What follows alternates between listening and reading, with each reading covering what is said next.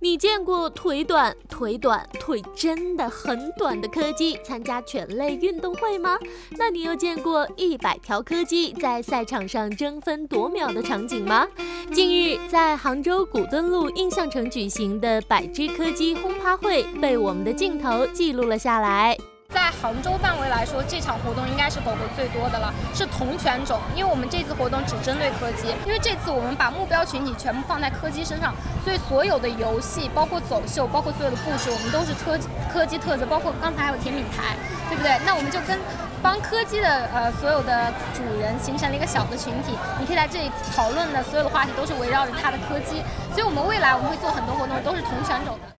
到底短腿柯基在跨栏绕杆赛跑等运动项目上的表现究竟如何呢？我们一起来看一下吧。